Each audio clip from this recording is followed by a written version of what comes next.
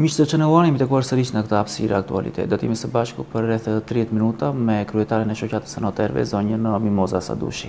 Faleminderit, me nësi që pranuat ftesën. Faleminderit, dhe nëmë. Do diskutojmë gjerësisht në fakt me një ligj që ka hyrë në fuqi dhe është diskutuar gjerësisht jo vetëm në media, po dhe në opinionin publik dhe sigurisht në fushën tuaj mbi ligjin noterial kryesisht. Noteri do të jetë garanti për çdo transaksion me pronat. Ndryshimet e reja kanë nisur të aplikohen në fillim të muajit mars. Kështu është shprehur për Channel One, kryetarja e Dhomës së Noterëve Mimoza Sadushi. Në llogarinë e noterit do të depozitohet çmimi i shitjes deri në përfundimin e procedurës. Kështu vetëm me një dokument identifikimi dhe një certifikatë pronësie Mund të blejnë dhe të shesin prona brenda 8 ditëve. Qytetarët nuk do të presin me ditë të tëra në zyrat e regjistrimit të pasurive dhe përmes këtij procesi eliminohet korrupsioni dhe burokracia. Do të ketë një reduktim të korrupsionit dhe të burokracive për arsye sepse qytetari nuk do të ketë më kontakte me njerëz të tjerë, pra këto kontakte do t'i mbajë vetëm me profesionistë, siç janë noterët, të cilët për punën që do të kryejnë do të marrin dhe tarifën e tyre përkatëse. Gjithashtu do të ketë edhe një eliminim të burokracive, sepse qytetarët tash nuk i duhet më që të shkojnë disa herë në zyrën e regjistrimit, por do të paraqiten vetëm dy herë në zyrën e noterit, herën e parë për të bërë transaksionin dhe herën e dytë për të tërhequr certifikatën e pronësisë. Koha do të jetë më e shkurtër, sepse në radhë të parë njëherë eliminohet ajo vajtja paraprake në zyrën e regjistrimit që qytetarit i kushtonte tre ditë ose katër ditë. Gjithashtu nga ky proces reduktohen edhe shpenzimet e tepërta që qytetarët paguanin në zyrat e regjistrimit të pasurive. Detajet do t'i zbërthejmë gjatë intervistës, por fillimisht do doja opinionin tuaj, si e keni lexuar realisht ligjin? Po, ligji i fundit që u miratua, bën fjalë për disa ndryshime që iu bënë ligjit për noterinë, për të patur akses noteri online në regjistrin elektronik që do të krijohet pranë Zyrës së Regjistrimit të Pasurive të Paluajtshme, sepse me ligjin e mëparshëm noteri mund të bënte verifikimin e pasurisë përpara se të bënte transaksionin, por gjithmonë ajo bëhej duke vajtur vetë noteri atje ose duke marrë qytetari një kartelë të freskët mbi gjendjen juridike të pasurisë. Ndryshimet që u bënë Kuptohet që u morën dhe mendimet tona, ne e pritëm mjaft pozitivisht, duke parë dhe faktin që kjo është një praktikë që kërkohet edhe nga qytetarët, kërkohet nga vetë tregu, por është një praktikë që zbatohet edhe në të gjitha vendet europiane. Pra ne kemi parë shumë praktika, në Francë kemi parë, në Austri, në Itali, në Gjermani, pra është një praktikë që ndiqet në të gjitha vendet europiane. Dhe kjo gjithmonë bëhet me qëllimin për t'i ardhur sa më në ndihmë qytetarëve.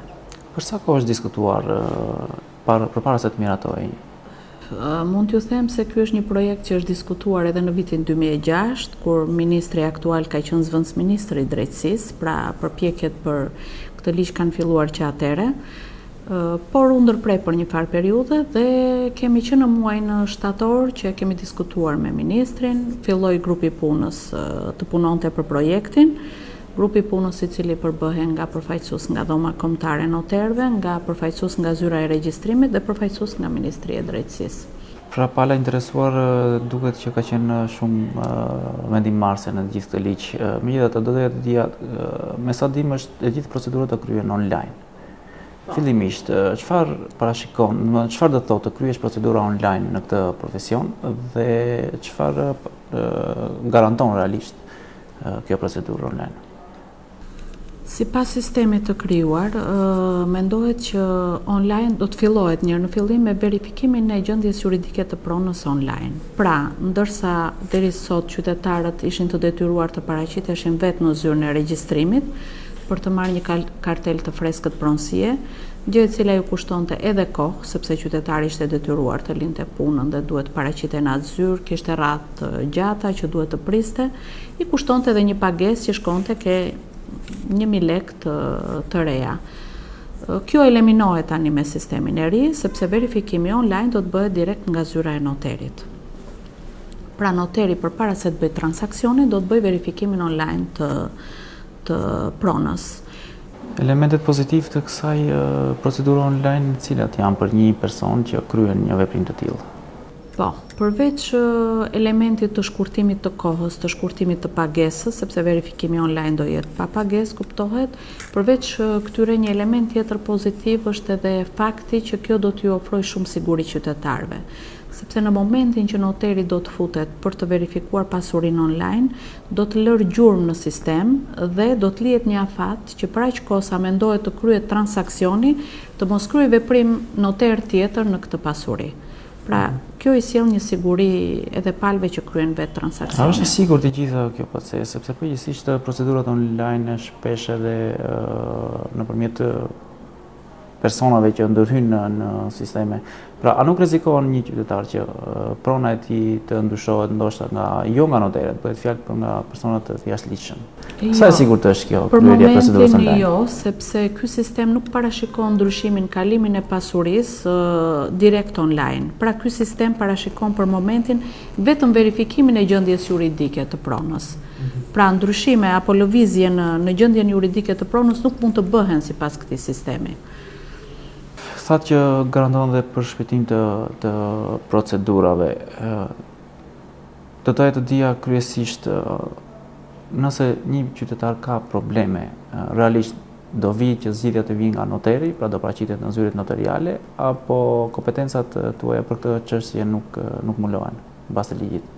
Noteri në bazë të ligjit mbulon vetëm momentin kur do të bëhet një transaksion. Pra, qytetari që do të kryejë një transaksion paraqitet në zyrën noteriale, Eliminohet ajo faza e parë e verifikimit të pasurisë dhe noteri bën transaksionin. Gjithashtu, në bazë të ligjit, është përsëri noteri i detyruar për ta marrë kontratën dhe për ta çuar vetë për ta regjistruar në zyrën e regjistrimit. Pra qytetarit i eliminohet pothuajse vajtja në zyrën e regjistrimit totalisht. Pra e gjithë procedura deri në mbyllje dhe deri në dorëzimin e certifikatës së pronësisë tek pala blerëse do të kryhet nga noteri. gjë e cila do t'iu ofrojë dhe garanci edhe palës blerëse që do derdhi shumën e blerjes, që në momentin e marrjes së certifikatës së pronësisë, kjo shumë që do derdhet në llogarinë e noterit, vetëm në atë moment do të kalojë në llogarinë e shitësit. E qartë. Çfarë ndryshimesh dhe nëse po ku duhet ndërhyhet në ligjin për transaksionet me pasuritë e paluajtshme? Ne kemi kërkuar duke parë dhe problemet që na rezultojnë në praktikë, sepse dihet që pasuritë pronarët e tyre ndryshojnë, ka raste që pronari vdes. Kemi kërkuar që për t'u ardhur sa më në ndihmë qytetarëve, të cilët pjesa më e madhe ka edhe emigrantë që shesin pasuritë e tyre dhe vijnë për një kohë shumë të shkurtër për të kryer këto transaksione, kemi kërkuar që pranë Ministrisë Drejtësisë, gjë e cila është mirëpritur dhe nga Ministri i Drejtësisë, kemi kërkuar që dëshmitë e trashëgimisë të lëshohen nga ana e noterëve. Për të shmangur nga njëra anë kohën e gjatë, sepse gjykata dihet që është e mbingarkuar, çdo çështje do kohën e vet, si për t'u gjykuar ashtu edhe për t'u caktuar çështje, Kemi kërkuar që të bëhen dëshmitë e trashëgimisë nga noteri dhe për të shkurtuar kohën, për t'u ardhur në ndihmë qytetarëve, por nga ana tjetër edhe për të pakësuar atë ngarkesën që kanë gjykatat. Sepse ngarkohen me çështje të tepërta për sa i përket dëshmisë së trashëgimisë. Ë kjo është faza e parë në fakt e implementimit të këtij projekti. Nëse cilat janë fazat e tjera, domethënë që janë në proces shqyrtimi? Për të ardhmen parashikohet në fillim të vitit dy mijë e trembëdhjetë që do jetë një projekt i cili do shtrihet në gjithë territorin e Republikës së Shqipërisë, sepse fillimisht fillon me Tiranën dhe me Durrësin, për të parë më tepër edhe në praktikë që çfarë problemesh do të lindin dhe për të rregulluar këto probleme më mbrapa. Në dy mijë e trembëdhjetë parashikohet që të fillojë si projekt në të gjithë territorin dhe në të njëjtën kohë parashikohet që Në atë periudhë, ndoshta dhe rolin e agjentit tatimor do ta luajë dhe noteri, për të eliminuar totalisht kontaktet e qytetarit me zyrën e regjistrimit. Pra që qytetari të paraqitet, të ndihet sa më komod dhe të paraqitet vetëm në një zyrë dhe vetëm një herë. Mhm. Po, në fakt, doja të dija, çfarë, sa, sa e ul realisht nivelin e korrupsionit në gjithë këtë proces, pytja bëhet lidhe direkt me korrupsionin, A garanton realisht zbardhjen e plotë për shembull të një të një X dosje të personazhit, një personi që do të paraqesë në zyrë fillimisht dhe mendoni që kjo është një punë e dyfishtë qoftë edhe për ju si si si noter dhe një kompetencë një përgjegjësi shumë e madhe. që ligji ju ngarkon. Po, mendoj që përgjegjësia është shumë e madhe për noterin, por tek e fundit është një përgjegjësi që noteri duhet ta ketë për shkak të të rolit dhe të funksionit që vetë luan noteri, sepse dihet edhe një herë mund ta cilësoj që noteri është si një person garant për të dy palët. Gjithashtu noteri është garant edhe për shtetin. Shteti delegon kompetenca noterit në mënyrë që ai t'u shërbejë sa më mirë qytetarëve. Dhe në mënyrë për t'i garantuar këta qytetarë që shiko, transaksionet që ju po kryeni janë të sigurta dhe të garantuara, sepse unë ju kam lënë një person të besuar.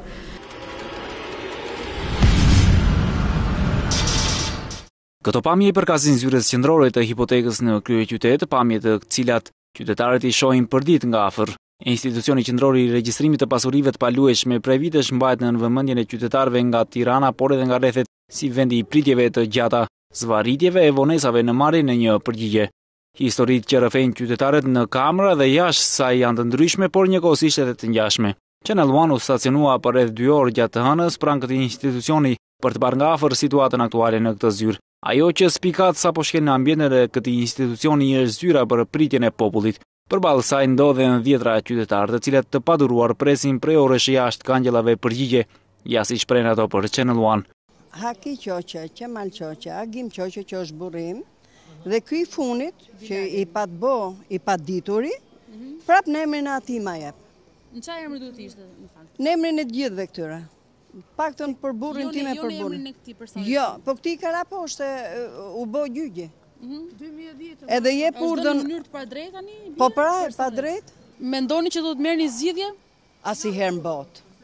Po pse vini pastaj kur nuk mendoni që do të marrë një zgjidhje? Po ku do të vemë, pa mirë? Ai thotë, më hudh në gjyqë, më thotë, ai që e ka bo aplikimin. Tre herë dhe më pas s'ia japin ata. Unë nuk kam dhonë kshu, palosme. Ju keni ardhur për çështje pronësia? Po, shpinë. Shpinë tuaj? Po. Ku banoni ju?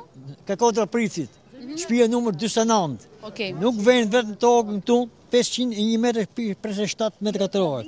Sipërfaqja e truallit? Sipërfaqja e truallit është 107 metra. Kurse drejtori ka vu 127 metra katrorë. Tokën jo. është bërë një gabim sipas mendimit tuaj që është ndryshuar? Që s'ka bon për nivelimin e gjithë Gjej Bekaj, thoi... Çfarë do të kishte bërë? Ka bërë këtë gabim. Kjo është shpija. Po? Ky ka vu, drejtori, ky Hasanaj, mhm. ka vu 106 metra katrorë. Ku e gjen ky diferencën? Në ditët në vijim, informacionet për këtë institucion do të vijnë në mënyrë më të zgjeruar dhe të hapur për të gjithë qytetarët shqiptarë. Pra, tek e fundit kjo është një përgjegjësi që noteri vërtet duhet ta marrë. Për sa i besuar mund të jetë noteri në të? Noteri patjetër është i besuar sepse është vetë detyra e tij që që sjell këtë këtë besim. A ju tremb fakti që ndoshta në gjithë këtë proces do të përfitojnë kategori noteresh, të cilët janë më afër ndoshta dhe njerëzve me pushtet.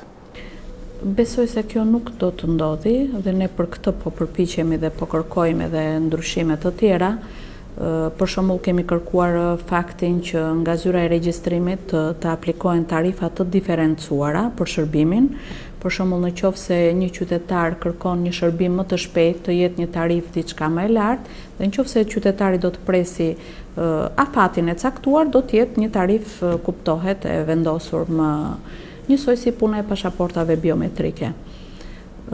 Por mendojmë se kjo do ta shmangi korrupsionin, sepse detyrimisht do shmangi atë kontaktin e zyrës së regjistrimit me me noter, me qytetarin dhe kjo është edhe arsyeja që kërkojmë këto tarifa të diferencuara që të mos vazhdojë ky korrupsion nëpërmjet noterëve.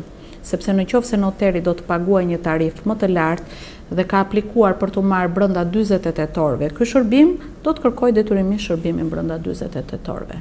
Del gjithçka e qartë nga nga fatura, nga tarifa që do të jetë paguar. Thatë që jeni është një punë e dyfishtë deri diku. A jeni të kënaqur me statusin që një noter ka në vendin tonë? Ne vazhdimisht kemi kërkuar që statusi noterit gjithmonë në këto transaksione të vendoset në vendin e duhur. Filluam në fillim me pasuritë e luajtshme, që krijuam tamam atë statusin e noterit për t'u paraqitur më përpara në regjistrin e barrëve siguruese ku ne kemi aksesin.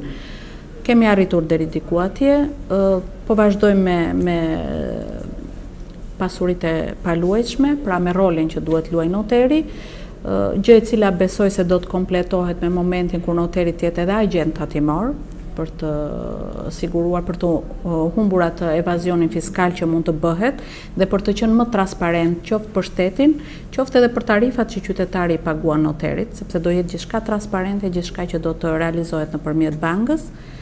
Synojmë për të ardhmen që të realizojmë dëshmitë e trashëgimisë që duhet të bëhen nga noteri dhe gjithashtu të vendosim një rol ndoshta më të fuqishëm noteri dhe përsa i përket ligjit të shoqërive tregtare.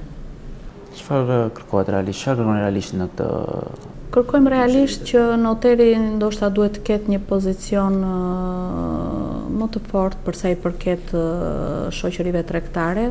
sepse përpara noterit tani realizohen vetëm kontratat e shitjes së kuotave midis ortakëve apo me persona të tretë, në një kohë që mendojmë që noteri si një certifikues që është duhet të ketë një rol më të fuqishëm edhe në themelimin e këtyre shoqërive, sepse shoqëritë mund të themelohen dhe nga persona të cilët mund ta mendojmë s'kanë zotësi për të vepruar dhe nuk ka kush i verifikon sepse i vetmi që verifikon zotësinë për të vepruar të të personave është noteri.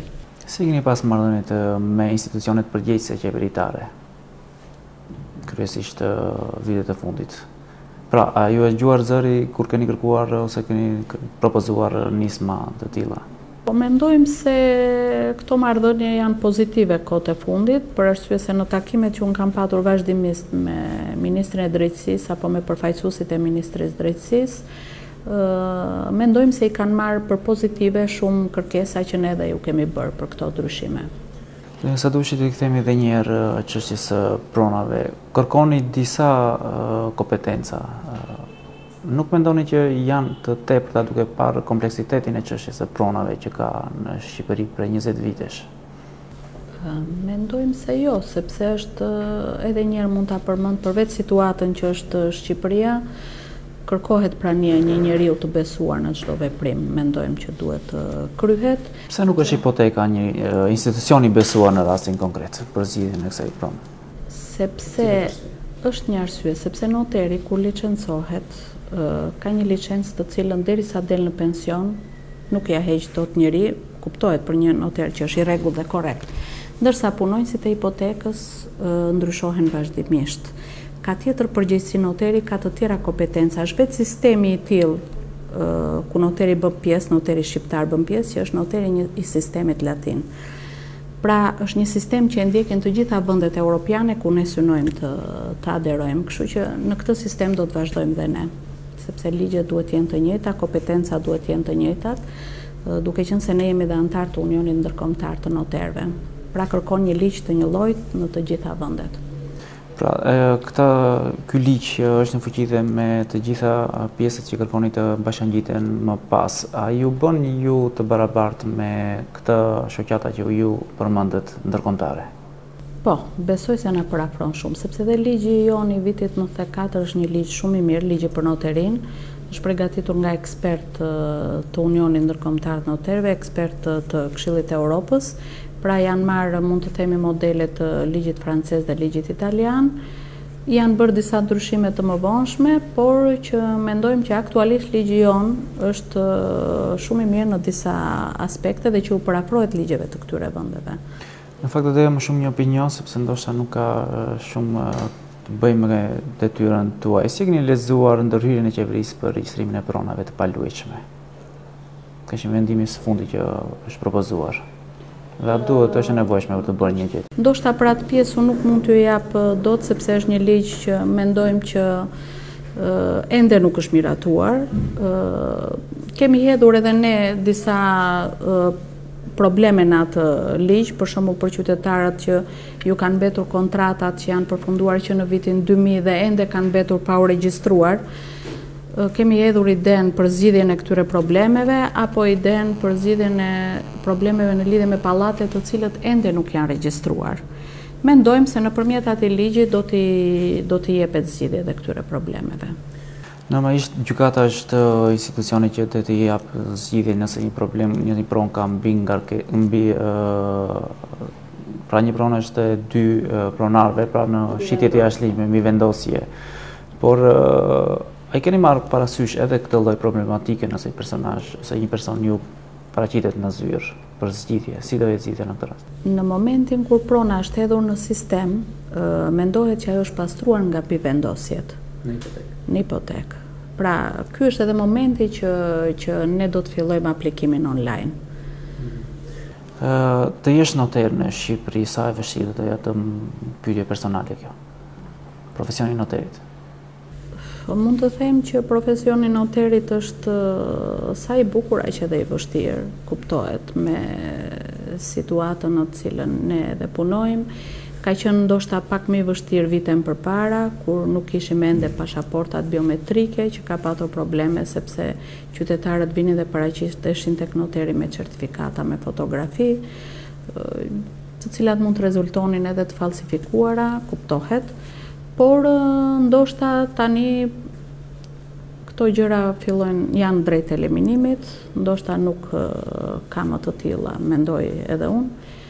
Por është një profesion i cili ka edhe ato vështirësitë e veta. Pra, kryejmë sot veprime, kryejmë transaksione me kartela që merren nga zyra e regjistrimit, apo me vërtetime pronësie të cilat plotësohen dhe me dorë dhe dihet që në këto vërtetime njohim edhe gabimin njerëzor, kuptohet që mund të bëhen dhe gabime, kështu që noteri e bën këtë transaksion vetëm duke u mbështetur një vërtetim pronësie tek një vërtetim pronësie që i paraqitet nga qytetari, pra që mund të ketë edhe gabime.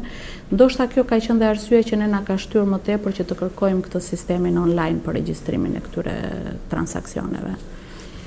E qartë, megjithatë do doja të riktheheshim edhe një herë sa faza parashikon ligji për noterin, pra faza e parë po aplikohet aktualisht dhe sa faza janë të tjera që janë për të diskutuar dhe miratuar. Mendojmë se për vitin 2013 është parashikuar që të mbyllet gjithçka që të vazhdojnë me sistemin online, ndërsa perspektiva është parashikon edhe futjen e firmës elektronike në momentin kur ne mund të arrijmë që dhe transaksioni Të bëhet direkt nga zyra e noterit elektronikisht, po që mendoj ajo i përket së ardhmes. Roli i bankave në këtë proces cili është?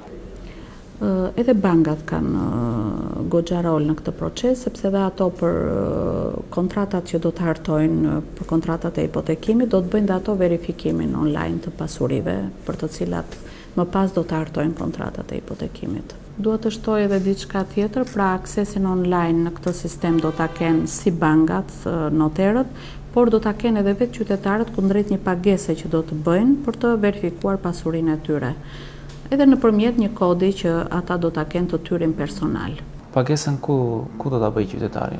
Qytetari do ta bëjë në bankë pagesën, do të ketë një akaunt në bankë dhe sa herë që ai të çekojë për të verifikuar gjendjen e pasurisë së tij, do të bëjë pagesë.